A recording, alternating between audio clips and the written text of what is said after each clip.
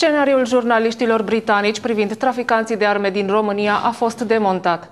Procurorii DICOT i-au identificat pe presupuși contrabandiști care apar în reportajul jurnaliștilor Sky News. Mai multe percheziții au avut loc în această dimineață în acest dosar și cinci persoane au ajuns la audieri.